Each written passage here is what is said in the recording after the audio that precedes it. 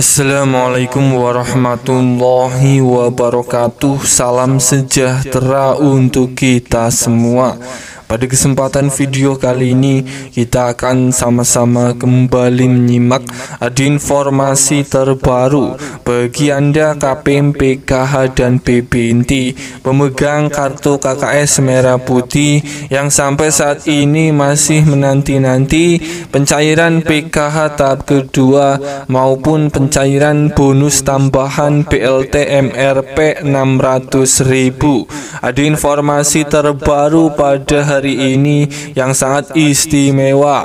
Banjir bantuan sosial ini benar-benar terpantau masih sedang dicairkan oleh Bank Himbara ke masing-masing kartu KKS KPM. Dan berikut update pencairan bantuan sosial PKH tahap kedua maupun pencairan BLT bonus MRP 600.000. Kira-kira daerah-daerahnya mana saja bantuan sosial yang sudah terpantau cair pada hari ini.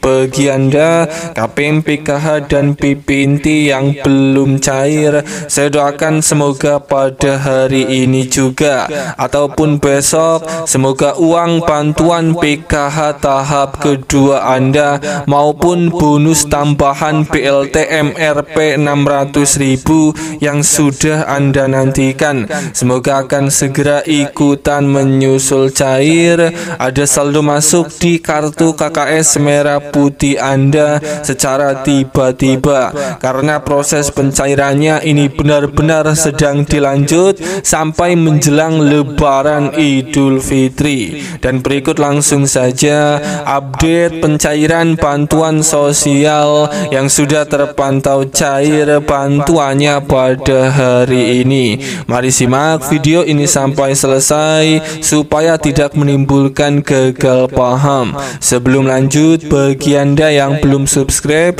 mari kita berteman terlebih dahulu dengan cara klik tombol subscribe, like, dan nyalakan loncengnya supaya terus dapat informasi terbaru dari channel ini.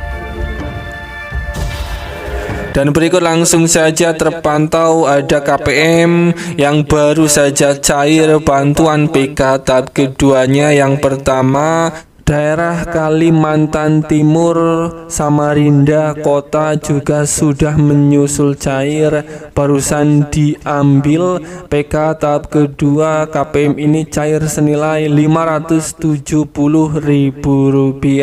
Kemudian selanjutnya untuk di daerah Gorontalo juga sudah terisi PK tahap kedua di Bank BRI. KPM ini hanya cair senilai Rp150.000 rupiah satu komponen saja. Alhamdulillah saya ucapkan selamat bagi para KPM yang sudah cair bantuannya pada hari ini.